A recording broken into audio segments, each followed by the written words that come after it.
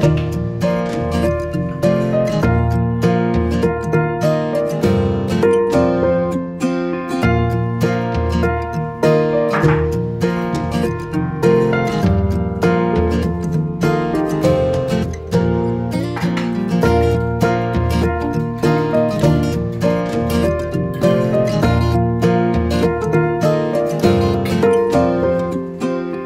التفاعل كان كتير حلو لأنه لمجرد أنا كتير وصفات بعملها مثلا بنشرها فكتير من الصبايا اللي بيتابعوني بيعملوها وفورا بيبعتوا لي فهذا الشيء بيعمل لي ردة فعل كتير حلوة.